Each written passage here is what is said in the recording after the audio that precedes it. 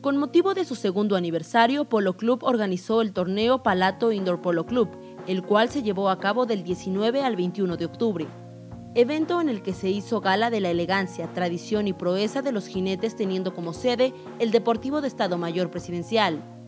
Bajo el objetivo de que el público pudiera vivir la experiencia de un torneo de primer nivel, Polo Club asumió el reto que eso representaba.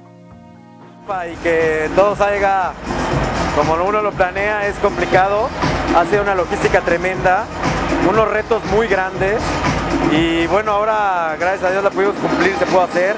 Hubo un cambio de fecha que fue algo que realmente nos complicó un poquito, más de lo que te digo, lo que es allá la logística completa de mover caballos, eh, poner caballerizas extras, que vengan las estrellas del polo, todo, ¿no?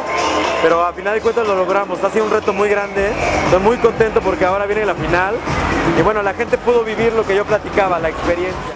Gracias al apoyo de patrocinadores como Oris, Rentable, Mercedes-Benz y Centro Encuestre Hacienda Mazatepec, el público pudo disfrutar de una serie de actividades que lo acercaron a este deporte.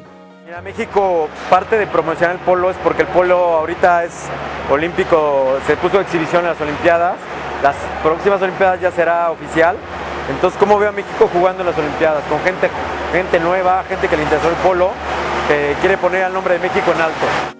La primera copa de este torneo se quedó en manos del equipo comandado por Alejandro de Sousa, con un score de 11-6 contra Gentleman.